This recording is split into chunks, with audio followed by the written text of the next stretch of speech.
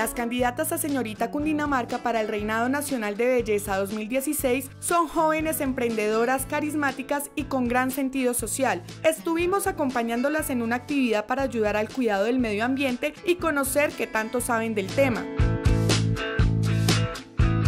Como mujer cundinamarquesa los invito a todos para que hagan parte de esta contribución, que cuidemos y preservemos el medio ambiente que es tan importante para todos nosotros. El medio ambiente simplemente significa vida, es lo que realmente todos tenemos que cuidar y para mi municipio me gustaría aportar la limpieza del río Río Negro. Creo que ahorita tenemos que todos crear conciencia porque ahorita tenemos que estar más concentrados en el medio ambiente.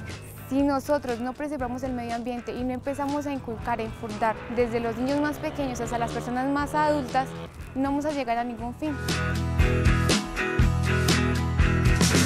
Cundinamarca tiene gran biodiversidad en cada municipio, por eso es importante el tema ambiental, en tanto que la representante del departamento debe tener prioridad en este tema que está afectando actualmente no solo a Colombia, sino al mundo entero.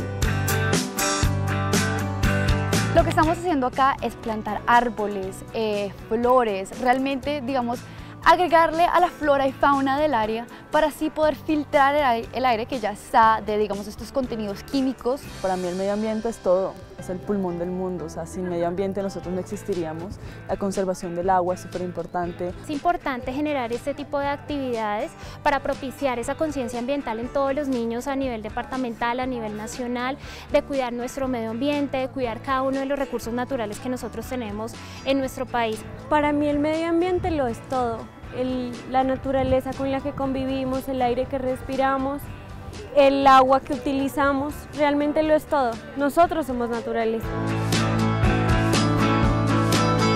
Las candidatas son conscientes del cuidado medioambiental, así que la próxima representante a señorita Cundinamarca debe ser un puente en el cual se genere respeto y cuidado del ambiente entre la población.